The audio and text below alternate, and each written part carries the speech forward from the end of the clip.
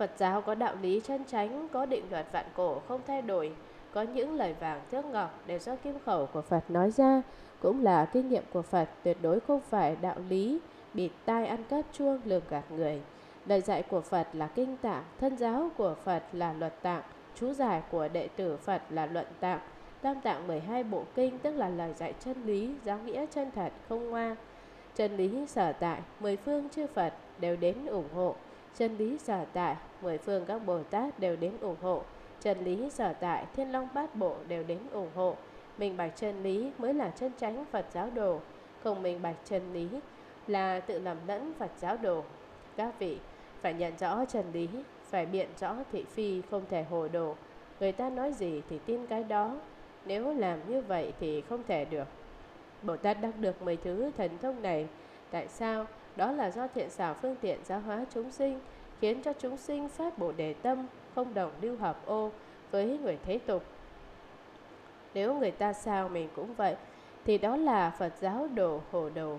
Chẳng những không nghiên cứu chân lý, ngược lại tìm cầu tà pháp, tin tà pháp phỉ báng tránh pháp, Phật giáo đồ như thế thật là đáng thương.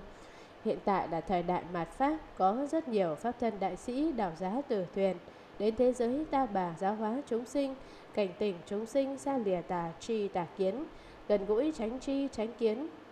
Pháp của Phật nói là tránh Pháp, Pháp của ma nói là tà Pháp, y giáo phụng hành, y Pháp tu hành, nghiêm trì giới luật, thực hành giới luật tức là tránh Pháp, bằng không tức là tà Pháp. Phạm là chẳng hợp với giới luật thì tuyệt đối đừng làm, hợp với giới luật thì tận sức đi làm, đó là đạo của Bồ Tát hành. Tâm của Bồ Tát tuyệt đối không ích kỷ lợi mình, mua danh chuộc tiếng khen. Ngài bi tâm thiết thiết hết lòng giáo hóa chúng sinh lìa khổ được vui.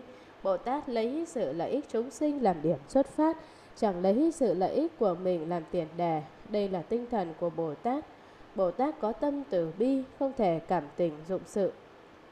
Có tư tưởng phù duyên đại từ đồng thể đại bi, tuyệt đối không khởi tâm phân biệt, Ngài xem tất cả chúng sinh đều là người đáng được độ. Chịu cực chịu oán, không phân ngày đêm, lo độ chúng sinh thoát khỏi biển khổ. Ngài nhận rằng là việc phải làm cho nên đắc được thành thông. Hiện tại có những Phật giáo đồ không có trí huệ đi khắp nơi tuyên truyền. Thời đại mạt Pháp không thể hiện thần thông, cũng không thể có thần thông. Tại sao phải tuyên truyền như vậy? Vì họ ngu si, không chịu dụng công tu hành, tâm đố kỵ, tác quái. Chính họ chẳng có thần thông cho rằng người khác cũng không có thần thông.